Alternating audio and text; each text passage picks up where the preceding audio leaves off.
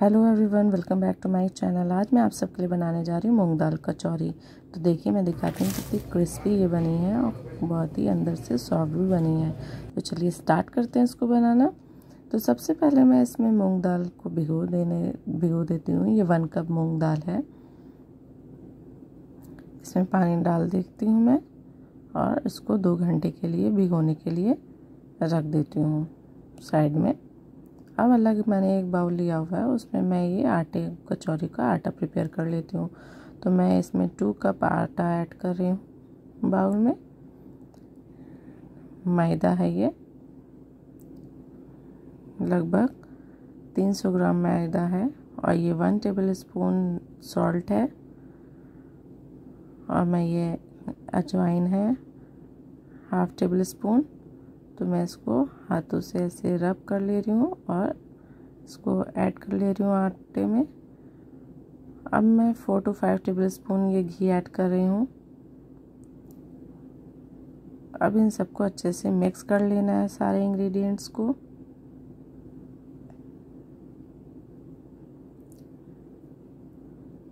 अच्छे से मिक्स करना है ताकि कचौरी खूब क्रिस्पी बने। और टेस्ट भी हलवाई जैसा रहे। तो आप लोग ज़रूर देखिएगा कि कितनी क्रिस्पी और टेस्टी कैसी बनती है कचौरियाँ। तो इसको अच्छे से मिक्स कर लेना है और धीरे धीरे पानी डाल के आटे का एक डो तैयार कर लेना है। सॉफ्ट डो तैयार करेंगे, ना बहुत हार्ड ना बहुत लूज़ कचौरियों का डो जो तैयार करना होता है, वो एकदम मीडियम सॉफ्ट रहता है। बहुत हार्ड नहीं रहेगा, बहुत लूज़ नहीं रहेगा। नरम आटा गूंदेंगे इसका। तो ध्यान रखें, इस तरीके से आटा गूंदना है कि कचौरियाँ आपकी क्रिस्पी बने। तो अगर ज़्यादा गीला आटा गूंदेंगे तो कचौरियाँ क्रिस्पी नहीं होंगी, एकदम पूरी की तरह बन के तैयार होंगी। और टाइट होगा आटा तो अंदर से क्रिस्पी तो रहेंगी, मगर सॉफ्ट नहीं रहेंगी, समोसे की तरह। कुरकुरी रहेंगी तो आपको एकदम इसको अंदर से सॉफ्ट भी रखनी है, क्रिस्पी भी रखनी है तो आटो, आटे को एकदम इस कंसिस्टेंसी में गूंदना है, जो मैं आपको ये दिखा रही हूँ गूंद को, इस तरीके से इसको गूंदना है। तो ध्यान रखिए थोड़ा थोड़ा पानी ही डाल के गूंदेंगे, ताकि आटा गीला ना होने पाए और सॉफ्ट रहेगा आटा। तो ये आटा लगभग गूंद चुका है तो मैं इसमें थोड़ा सा और पंचेस लगा देती हूँ और इसको साइड में रख दूँगी रेस्ट करने के लिए 10 से 15 मिनट तक। तो इसकी आटे की कंसिस्टेंसी ये रहेगी। तो मैं इसको ढक के रख देती हूँ।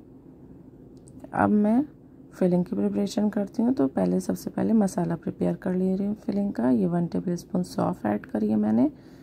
और ये ज़ीरा है वन टेबल स्पून और ये काली मिर्च है हाफ़ टेबल स्पून और चार से पाँच मिर्च है ये, सूखी मिर्च, और ये धनिया पाउडर है। टू टेबल स्पून में ऐड कर रही हूँ। आप चाहे तो धनिया अक्खा धनिया भी यूज़ कर सकते हैं। तो इन सबको ग्राइंड कर लेना है और एक दरदरा मसाला पीस लेना है। ये आप देख सकते हैं। तो मैं मसाला मैं दिखा देती हूँ। ज़्यादा बहुत फाइन फाइन मसाला पाउडर नहीं तैयार करना है। दरदरा तैयार करना है।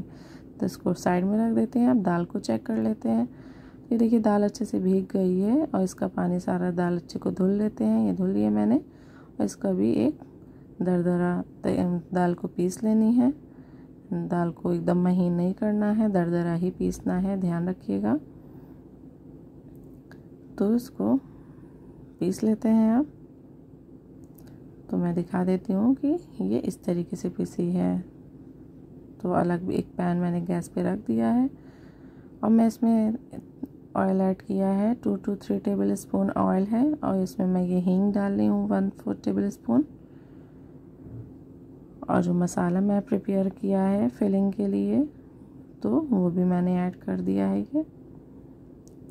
तो इन सबको अच्छे से सौते कर लेना है, भून लेना है मसाले को। ध्यान रखिए medium flame medium to low ही रखेंगे, वरना मसाले लगने लगते हैं और टेस्ट भी अच्छा नहीं रहता है, मसाला अगर जल जाएगा। तो ध्यान रखें, गैस की फ्लेम लो ही रखिएगा। बहुत अच्छी स्मेल आ रही है मसाले भुनने की तो आप लोग ध्यान रखिएगा कि एकदम अच्छी स्मेल आने लगे तो लगेगा, मसाला भुन गया है। तो अब मैं इसमें बेसन ऐड करूँगी मसाला भुन जाने पे।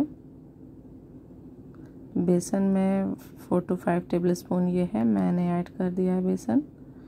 बेसन को भी अच्छे से भून लेना है मसालों में।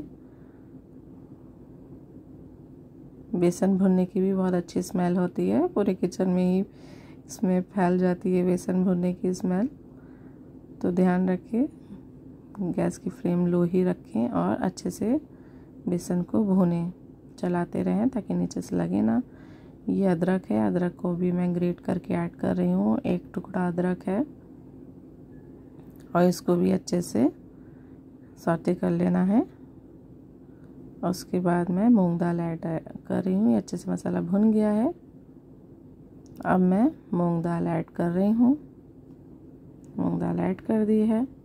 बेसन डला है तो जितनी भी स्टिकी दाल है, वो अपने आप ही सही हो जाती है। बेसन बेसन का काम ही यही होता है कि जितनी भी स्टिकी दाल होगी, वो अपने आप ही जो है ड्राई हो जाएगी। बेसन टेस्ट भी इन्हेंस होता है और बेसन बहुत, ये देखिए, एकदम ड्राई हो गई है दाल। फिलिंग एकदम रेडी है, इसको और भून लेते हैं। और सूखे मसाले भी अलग के डालेंगे। तो इसको थोड़ा दो से तीन मिनट भूनेंगे और मसाले ऐड करेंगे। तो ध्यान रहे, आप फिलिंग में जो है पानी वानी ना डालिएगा ज़्यादा। ये रेड चिली पाउडर है, हाफ़ टेबल स्पून। पहले मैं काले मिर्च और सूखी लाल मिर्च भी ऐड कर चुकी हूँ। और ये हाफ़ टेबल स्पून ज़ीरा पाउडर है, ये टर्मरिक पाउडर है वन फोर टेबल स्पून ये मैंगो ड्राई मैंगो पाउडर है, आप चाहे तो नींबू भी ले सकते हैं.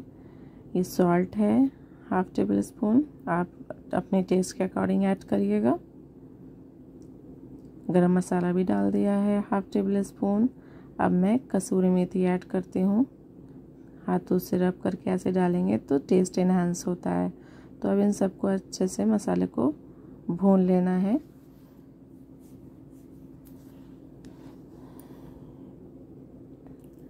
ध्यान रहे, गैस की फ्लेम लो ही रखिएगा, वरना नीचे जल सकता है। आप इस, अब ये फिलिंग तैयार हो गई है, अब मैं ये आटे को देख लेती हूँ। आटा भी ऑलमोस्ट सेट है, मगर और दो दो से तीन मिनट पंचेज और लगा देती हूँ और आटे को एकदम सॉफ्ट कर लेते हैं। तो आटा भी रेडी हो गया इसको साइड में रख देते हैं और जो फिलिंग तैयार करी है, उसके बॉल्स बना लेते हैं। ताकि आटे में फिलिंग करने में ईज़िली से फिलिंग हो जाती है और फिलिंग इधर लीक नहीं होती है, बाहर नहीं निकलती है। तो इस तरीके से फिलिंग बनानी है। ये हाथों से की हेल्प से बॉल्स तैयार कर लेने इस तरीके से। और इसी तरीके से सारी फिलिंग के आप बॉल्स बना लिएगा तो इसी तरीके मैंने सारे बना लिए हैं।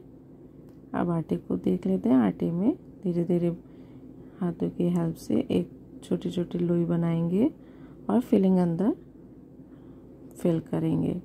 हाथों से ऐसे बढ़ाएँगे। धीरे धीरे जितनी बड़ी पूरी होती है उससे थोड़ा छोटा साइज़ रखेंगे। आप चाहे बेल के भी बना सकते हैं। तो अब मैंने ये इसको इस हाथों की हेल्प से धीरे धीरे प्रेस किया है और इसको बड़ा कर दिया है।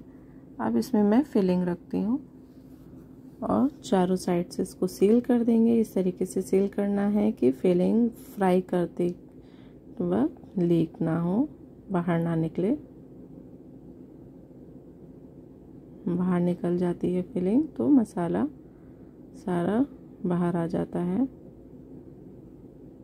तो इस तरीके से धीरे धीरे हाथों से प्रेस करेंगे चारों साइड्स और कचौरी का शेप दे देंगे इसमें। ये देखिए तैयार है एकदम।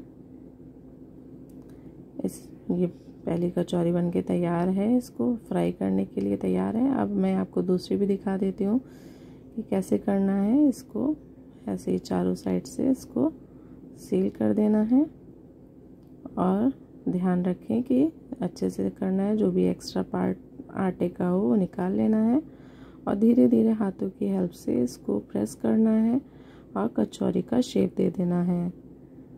बहुत ज़्यादा टाइट हाथों से मत करिएगा। तो ये सारी कचौरियों बन के तैयार हैं इन फ्राई करने के लिए।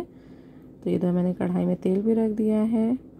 गैस की फ्लेम लो ही रखेंगे। और ये कचौरी मैं डाल रही हूँ फ्राई करने के लिए। लो ही फ्लेम पे कचौरियों को फ्राई करिएगा, तभी क्रिस्पी आएँगी। हाई फ्लेम रखेंगे तो एकदम पूरी की तरह बन के तैयार हो जाएँगी। ध्यान रखिएगा। तो दो से तीन मिनट के बाद कचौरियाँ अपने आप ही ऊपर आने लगेंगी तेल के, ये देखिए। तो इसमें आप जो है कचौरियों में ऊपर से भी पानी डालिए, तेल डालिए सॉरी और इसको फूलने फूलने तक ही वेट करिए, तब दूसरी साइड से भी फ्राई करिए। अपने आप ही फूलना शुरू हो जाती हैं। तो इनको लो मीडियम टू लो ही फ्लेम रखेंगे। और गोल्डन होने तक ही फ्राई करेंगे। थोड़ा समय ज़रूर लगेगा आपको फ्राई करने में बट क्रिस्पी तैयार होंगी। ये देखिए, फूलना शुरू हो गई हैं। आप सब लोग देख सकते हैं। इसको पलट लेते हैं, दूसरी साइड भी फ्राई कर लेते हैं। तो देखिए, अभी से ही कितना फूलना शुरू हो गई हैं। एकदम हलवाई लुक देना शुरू हो गई हैं। तो इसको थोड़ा और गोल्डन होने देते हैं। अभी पूरी तरीके से गोल्डन नहीं हुई हैं। इसी तरीके से आप फ्राई करिएगा। तो ये देखिए, एकदम गोल्डन तैयार है, एकदम हलवाई जैसी लग रही हैं फूली फूली बहुत ही टेस्टी दिख रही हैं क्रिस्पी दिख रही हैं। तो अब इसकी सारी निकाल लेते हैं कचौरियाँ और प्लेटिंग कर लेते हैं। तो ये देखिए, कचौरियाँ बन के तैयार हैं। एकदम क्रिस्पी दिख रही हैं, आपको मैं दिखाती हूँ। ये देखिए। तो आप सब लोग को पसंद आए तो ज़रूर लाइक एंड सब्सक्राइब करिएगा। मिलते हैं आप सबसे